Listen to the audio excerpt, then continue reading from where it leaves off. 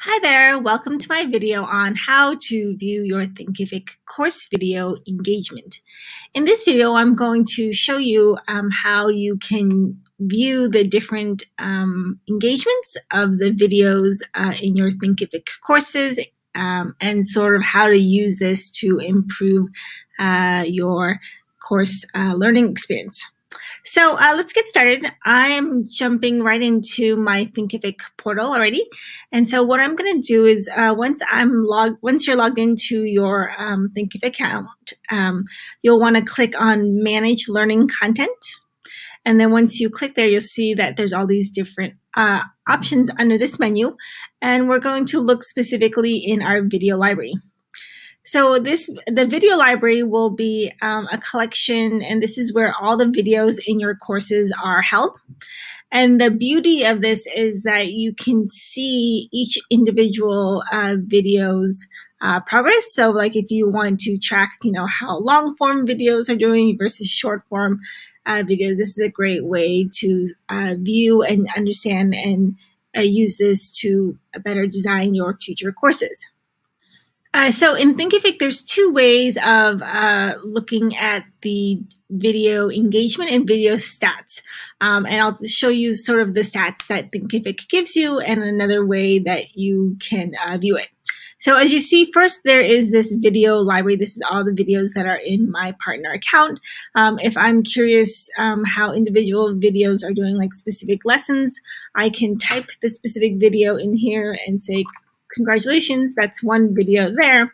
Um, if I don't have a specific video in mind and I just want to search through my library, I can pick a specific video like this first one or the second one, and then look for this three dots. Uh, this is what we call in the um, realm of a hamburger menu. It's kind of like the standard kind of like uh, design in uh, most websites. But click on this three dots here, and then you're going to look for and click on this edit button.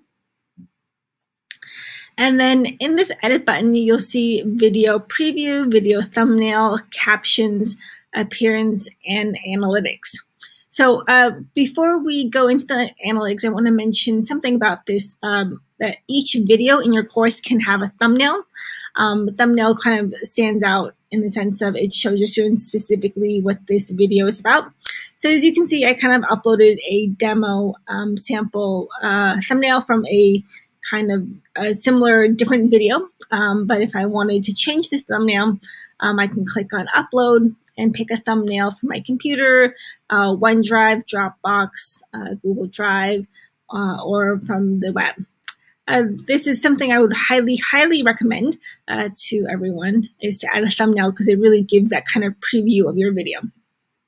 Captions um, also help uh, your learners as well for those who um, have some challenges with um, audio and hearing. Um, captions are great also because then they can read the transcripts on the screen. But uh, back to my point about analytics. So here, uh, this is um, there's no uh, real exciting analytics because it's just my partner account and these are kind of demos.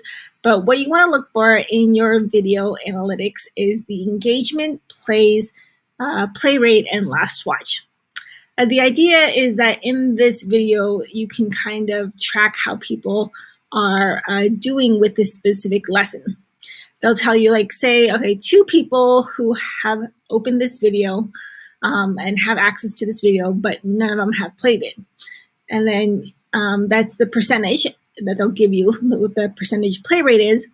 They'll also give you the total plays uh, when the, when last time uh, someone watched it, and then the average engagement.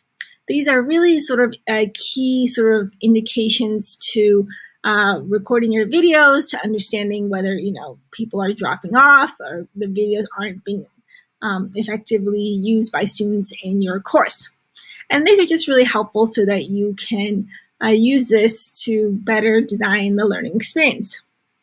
And then the other thing uh, to know about uh, video um, engagement and video uh, statistics in your Thinkific course is that you can also view specific reports. So by viewing reports, this is another easier way um, instead of looking at individual videos. They can give you a more big picture of how many videos you have, what's the total watch time, how many times it's been um, played. Um, watch time is really interesting because let's say you have eight hours of content, but only one hour has been watched. So maybe it's, you know, you can sort of say, well, hmm, this is kind of interesting and how can I better um, improve this for my students?